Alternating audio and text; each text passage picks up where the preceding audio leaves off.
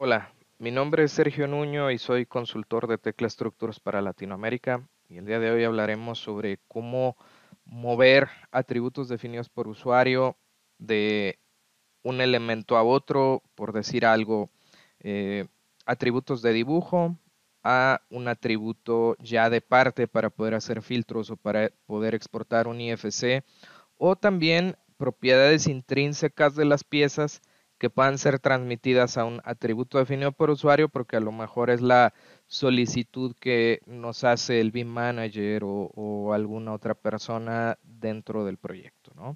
Entonces, para eso vamos a utilizar dos utilidades. La primera es eh, Drawing Revisions Info to UDAs, que la pueden descargar de manera gratuita en nuestro Tecla Warehouse y del mismo modo también Copy UDA. Entonces, si nosotros regresamos al modelo, podemos perfectamente eh, buscar y podemos hacer esto, ¿no? Vamos a entrar y podemos utilizar, vamos a escribir UDA y aquí está la opción de Drawing Info to UDA. Entonces, si nosotros queremos copiar la información de nuestros dibujos, por ejemplo, por decir algo, está en una revisión cero, y esa revisión cero pues tiene también datos, tiene quién revisó, cuándo se revisó y cuál es la, la información, pues bueno, nosotros podemos generarlo. En este caso voy a tomar mis ensambles y voy a correr esta opción de información de dibujo a UDA. Entonces ya corrió por detrás un macro. Si yo consulto esta pieza, por ejemplo, me aparece la información. Número de revisión 0, plano revisado por Sergio Nuño, fecha de revisión 14 de septiembre y descripción de la revisión aprobado para construcción. Aquí ya tenemos este, un poco de más información, pero eh, pues bueno, nosotros podemos aprovechar. Recordamos que también hay un macro que pueden utilizar en el entorno de Latinoamérica, el de BIM Execution Plan to Main Part.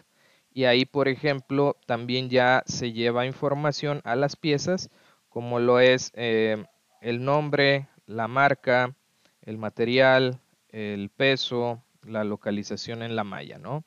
Pero si pensamos que nos solicitan algo un poco diferente o algo que no está dentro de ese eh, macro, pues bueno, también nosotros lo podemos utilizar y lo podemos generar a partir de esta opción de Copy UDA. Entonces, en este caso lo voy a hacer igual para ensambles y voy a entrar, voy a cargar la utilidad y aquí está, por ejemplo, la marca de nuestra pieza. Si le queremos hacer a lo mejor un seguimiento a las marcas o copiar las marcas antes de correr una numeración nueva para que quizás sea más fácil comparar, pues bueno, nosotros podemos ver aquí el assembly position y en qué campo lo vamos a mandar. Entonces nosotros podemos copiarlo a lo mejor para las piezas seleccionadas. Le vamos a decir que el assembly position o la marca, eh, pues la mande al user field 1. Le vamos a decir que copie de lo seleccionado está copiando y ya se completó. Entonces, por ejemplo, si ahora selecciono esta pieza y me voy al atributo definido por usuario de parámetros, aquí está el VS1, es su marca correspondiente. Podemos colocar el nivel superior, entonces yo aquí puedo escribir top-level y ese mandarlo al user field 2, por ejemplo. Igual entonces lo voy a copiar para mis mismas piezas. Ya está copiado. Y puedo poner eh, la marca, por ejemplo, de la parte principal. Entonces yo aquí puedo poner main part, punto part bajo post. Y eso mandarlo al user field 3, por ejemplo. Copiamos. Y también ya se fue. Y le podemos poner el perfil también de la parte principal. Le vamos a poner profile, mainpart.profile y que ese se vaya al user field 4.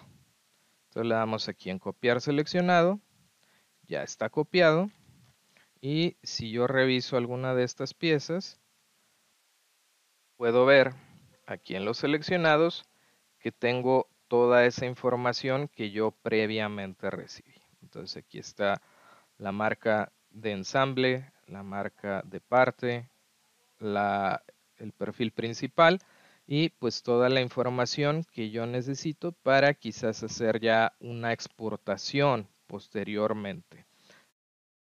Le recordamos que ya tenemos ahí un video de cómo hacer exportación con atributos que pueden visitar y que pueden revisar dentro de eh, nuestro canal.